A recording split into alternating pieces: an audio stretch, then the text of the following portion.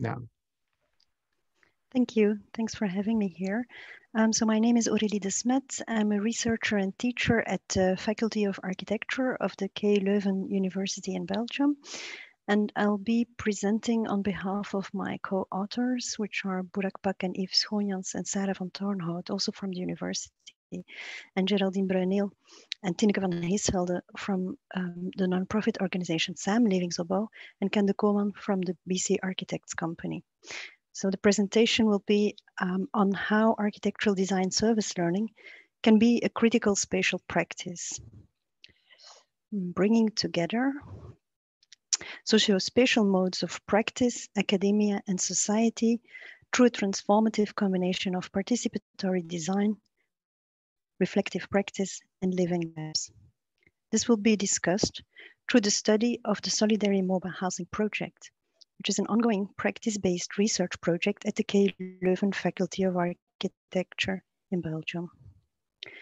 So in this presentation, I will first elaborate a bit more on the research project itself before explaining how teaching and learning were addressed in the context of this project. And then we will briefly construct a theoretical framework, which we will then use to critically revisit the project. Finally, we will draw some conclusions, highlight some challenges um, in this context, and formulate some potential future directions. So first, um, a few words about the project. In the framework of this case, several partners, EMEA, society, and practice have been collaborating intensively with each other through a participatory action research in a living lab context that was started up in 2017. The project aim was to develop, test, and refine a model for increasing urban resilience through the co-creation and co-management of mobile houses for the houseless on urban waiting spaces in the Brussels capital region. So the research questions of the project were, how can vacant areas be temporarily be used as sites for housing? Co-create intermediate housing for the houseless in Brussels. Moreover, in the context of this presentation, I will also highlight what the potential role of KU Leuven researchers and students was and is in this. As you can see here, the partners in the project were first and foremost eight end users. They are houseless people from the Brussels capital region, and they are the future inhabitants of the project. As illustrated in this image, they are literally being placed at the heart of the project. Surrounding them are researchers and from the Faculty of Architecture of the KU Leuven and employees of the non-profit organizations Centrum voor Algemeen Welzijnswerk and Samenlevingsopbouw Brussel, focusing uh, respectively on individual well-being and neighborhood work.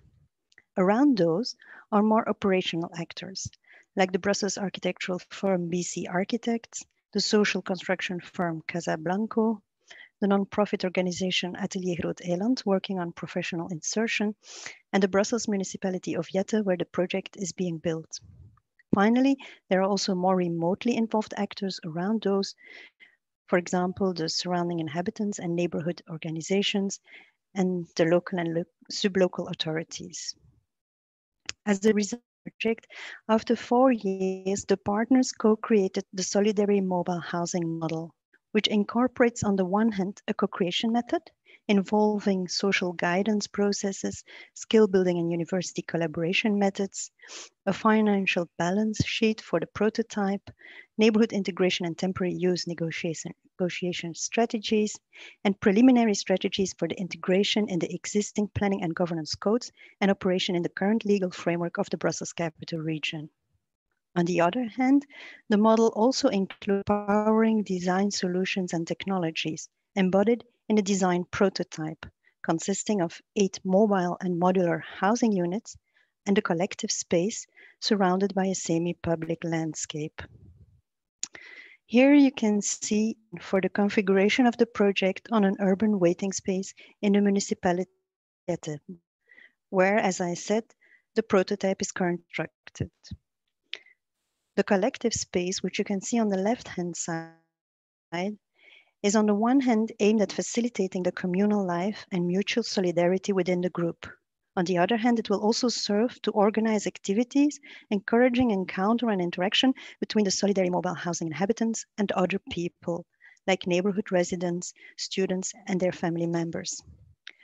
The outdoor space surrounding the individual units and collective spaces are currently being co-designed with the inhabitants as a semi-public landscape. The Solidary Mobile Housing Living Lab thus aimed at creating a learning environment involving all the partners, including the houseless, in the entire research process. The hypothesis behind this, this is that by collectively taking part in every step of the conceptualization, construction, and later exploitation their own houses, these people would be empowered not only to participate in the co-creation of individual housing units, but also to gradually solidary living community in interaction with their surrounding neighborhood. And that through this, they will be able to regain, regain a grip not only on their own housing situation, but also on their whole life. From 2017 to today, several students have also been involved in the Solidary Mobile Housing Project via research-driven, community-engaged architectural design service learning. The first students were involved was through an elective organized by the Urban Project Collective Spaces and Localities Research Group. It, was, um, it took place during the co-planning phase of the project and in the framework of this course, the students worked together with the project partners on writing the design brief through a needs and requirements analysis and through case studies, on developing a temporary use site discovery and selection method, scenario development. The second time the students were involved was through a design studio. This one was organized during the co-design phase of the project. In the framework of this course, the students worked together with all the partners, including the future inhabitants, on the preliminary design of the, of the houses, the collective space, and the semi-public landscape. Then the third time the students were involved was still during the co-design phase through another elective organized by the building construction group this time, they worked on further detailing the design. Again, Finally, the fourth time students were involved was during the co-development phase. Within the framework of yet another elective, this time organized by the Altering Practices for Urban Inclusion Research Group, the students worked on helping to kick off the neighborhood integration through a number of temporary interventions on the site. And they also reflected on the longer term development and positioning of the Solidary Mobile Housing Project through the study and comparison of similar cases from Belgium and abroad. With the aim of constructing a conceptual framework for the analysis of this project, we will now background discussion. In this presentation, we will have to keep this limited due to time restrictions, but it will be addressed in more detail in written. However, I want to start quite generally by pointing out the difference between mode one and mode two knowledge production. As opposed to mode one knowledge production, in which the researchers are also often seen as detached from reality, mode two knowledge production recognizes that reality is always open, complex, networked, and dynamic. And that as a result, action is never the realization or the implementation of a plan, but the exploration of the unintended consequences and provisional and revisable version of a project. Therefore, Mode 2 knowledge production is, as Latour expresses it, about moving from science to research, objects to projects, and from implementation to experimentation. To realize this and to be able to cope with the high complexity of reality and formulate efficient answers to the contemporary challenge, it is important that academia, practice, and society would collaborate dynamically and structurally with each other. This is also expressed in the service learning model, which situates service learning at the intersection of practical experience, civic engagement, and academic. However, although collaboration amongst two of these spheres exceptional of three of them seems to be less common. For constructing our theoretical framework, we will therefore zoom in on some of the modes of collaboration between two of these spheres at a time. For the first type of cross-sphere collaboration, we are zooming in on participatory design, which is bringing together practice and society. Participatory design arose in Scandinavia in the 60s and 70s, and it was rooted in the work with trade unions aimed at involving the workers in improving their own work situation. At that time, it was often called cooperative design. Today, it is applied in, in various disciplines as an approach approach to design that attempts to actively involve stakeholders in the design process with the aim of ensuring that the designed product would meet the stakeholders' needs and is usable. In the context of participatory design, end users are seen as the experts of their own experience. The second type of cross-sphere collaboration we are zooming in on is reflective practice, which is bringing together practice and academia Reflective practice is the ability to reflect on one's actions so as to engage in a pro process of continuous learning. This concept emerges principally from the work of Donald Schoen, who was one of the first to draw the attention to the crisis in the professions, often represented by the perceived gap between formal theory and actual practice. Reflective practice involves paying critical attention to the practical values and theories which inform everyday actions by examining practice in a reflective and reflexive way. Key rationale behind reflective practice is that experience alone does not necessarily lead to learning, but that deliberate reflection on experience is essential for learning. Finally, the third type of cross-sphere collaboration we are zooming in on is living labs bringing together academia, practice, academia and practice. In literature, it is possible to find various approaches to living labs. Different researchers have described it from different perspectives as networks, platforms, a context, a method, an interface, or a system. Specific for living labs is that products and services are being tested and developed in their real environment and interaction with users is a prerequisite. As a result, the method used in Living Labs is iterative. We will now use this framework to reanalyze the Solidary Mobile Housing project. We will focus our critical reflection more specifically on, on the analysis of the methods and tools used for enabling transdisciplinary collaboration and architectural design service learning. A first step in this was that we organized the architectural design service learning courses as testing grounds for phenomena, methods, and tools. Our approach, based on what is themed live projects in architectural pedagogy, includes the staging of reorganized relationships, involving not only the students, teachers, and researchers, but also several architectural and social practitioners, as well as the end users, in the research and teaching activities. As a result, we help to develop not only the architectural students, but also all the other participants' skills and talents, as well as our own. And we managed to combine a critical rethinking of all involved disciplines with, uh, to combine this with the production of a new body of recognizable work. As such, the Solidary Mobile Housing Life project could be seen as a specific transformative type of living lab, as it is bringing together not only research and society, but also teaching and practice. Another specificity of the project is that as a result of the circular and incremental participatory action research project, all the partners are at all times closely involved in the transdisciplinary and transsectoral reflection and action and reflection on action mode of working. This results in what Markus Miessen is calling cross-benching practices. These are pushing participants to go off autopilot and critically address the established protocols and codes of conduct in their specific fields, and to establish new transdisciplinary and transsectoral protocols through practice.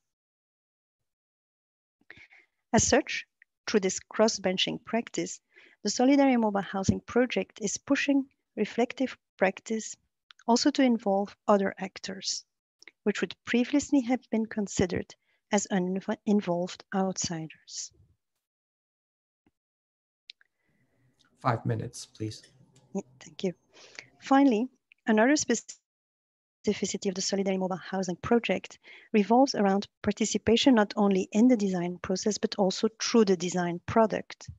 On the one hand, participation in the design process focuses on design before use through the design of methods, media, and tools for facilitating participation during the co-creation of the design, such as the user inquiries we made at the beginning of the project and which helped us to get an insight in the needs, daily practices, and skills of potential users before the engagement of the future inhabitants or the participatory site visits, which enabled us to see the site through the eyes of the vulnerable users, or the participatory hands-on workshops, which empowered the users and students to engage in hands-on making activities. And finally, also the participatory reviews and evaluations, which provided a chance to all the participants to engage in design conversations. On the other hand, in the participation through design approach, architecture itself is seen as an infrastructure for participation, empowering the users to make and remake their own living environments. This approach rethinks architecture as an ever-changing, incomplete, and open infrastructure, and focuses on design in use, such as adaptation, appropriation, and tailoring and redesign. Following this principle of participation through design, we co-created a system of modular building elements consisting of a multifunctional unit, a technical unit, and interchangeable facade panels and flexible reusable internal wall panels, which the, user are, the users are learning to assemble and disassemble so that they can combine them to generate an almost endless amount of open plan layouts. As a result, the building system is, system is empowering the users to make and remake their own homes, not only during the design process, but also after the completion of the project. As such, this participation in and through design is transforming participatory design into also including research and innovation, as well as skill building elements. I realize that I only have been able to offer you a very brief insight into this broad, multi-layered and complex project. But as we have limited time left, let's go straight to the conclusions in which I want to highlight again how the transformational approach of the Solidary Mobile case using architectural design, service learning, combining participatory in uh, participation in and through design, live project, and cross-benching practice fostered critical spatial practice, which in Markus Miessen's terms involves critically addressing the established code of conduct and setting new protocols to true practice as well as seeing research as practice and recognizing the agency of the artifact. As such, the use of architectural design service learning in the context of this project also forwarded the notion of spatial agency introduced by Jeremy Till as another way of doing architecture, and in this way reframing the role of the architect as well as of the other actors involved. As this is an emerging practice, the challenges are still great. They range from practical and financial, such as having to deal with legal responsibilities and finding funding to build, over disciplinary and institutional, such as having to develop a common vocabulary and a common understanding of notions such as social inclusion and spatial quality, to ethical, such as dealing with openness and incompleteness and the involvement of vulnerable users. These challenges re require all the participants to leave the safe zone of the well-known and move from a culture of consensus towards an acceptance of dissensus. Finally, potential future directions might be for academia to focus on deepening the understanding of research as a practice. For practice, to allow a reframing of the role of professionals as cross-benching practitioners and co-creators in cross-sectoral collaborations and for society to keep on investing time and effort in participation and in through co-design. In this way, we believe it might be possible to bring together socio-spatial modes of practice, academia, and society in a more durable and perpetual manner in the future.